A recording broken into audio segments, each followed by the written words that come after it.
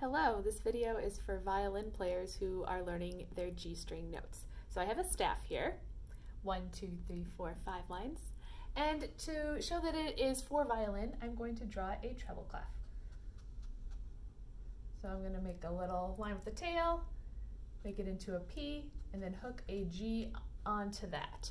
So there's my treble clef. Notice it's not perfect, and yours doesn't have to be either. And I'm going to start with a D. You might say, hey, we're learning our G string notes. Why are you giving me a D? Well, two reasons. The first is that it's a good starting point. It's a note that you know. I'm going to label it, it's a D. You know it as zero fingers on your D string. However, you can also play this D on your G string with a fourth finger.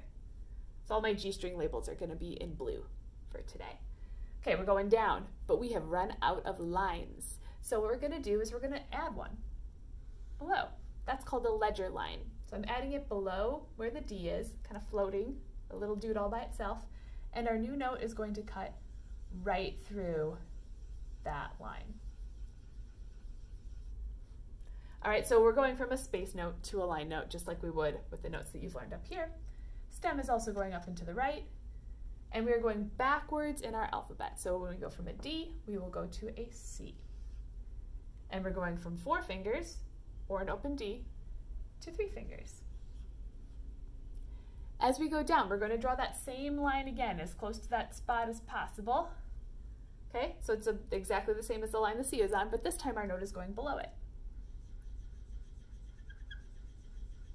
So the head of the note, it looks like it's almost wearing that ledger line for a hat. Stem is still going up and on the right, going backwards in our alphabet, D, C, B. Four, three, two. All right, so we've drawn one ledger line. We're going to draw it again. Same ledger line that we drew for the C and the B, but now we need to add another below it. This note, we're going from a space note to a line note.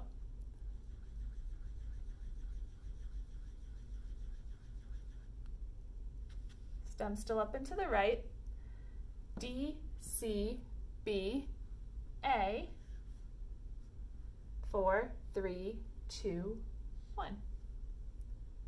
And we have one more note. We have to draw those same two ledger lines again. And then now our note will sit below them.